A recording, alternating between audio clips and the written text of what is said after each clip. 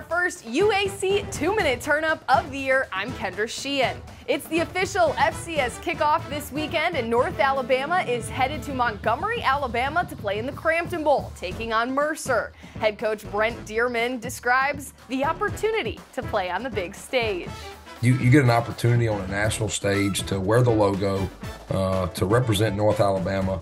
So it's, it's huge for our program and recruiting. It's huge for us to, to get into households so people can see the logo, but it's also huge for our university. You know, uh, when, when universities put on a big, um, big show on a, on a game day environment like this, usually enrollment goes up.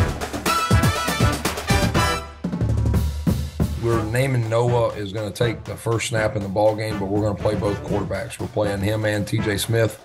Um, they, they both have kind of their package of plays where they're going to be um, highlighting their strengths, uh, where they get opportunities to lead a football team.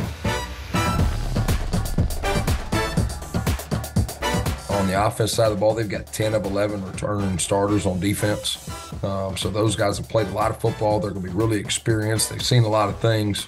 Uh, so we've got to be able to mix up looks. We've got to be able to motion. We've got to be able to do things.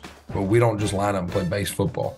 This week, North Alabama is the only team in our conference scheduled to play as they head to that FCS kickoff in Montgomery, Alabama, a part of the Cramton Bowl. They will take on Mercer at 2.30 p.m. Central Time on ESPN. For the UAC, I'm Kendra Sheehan.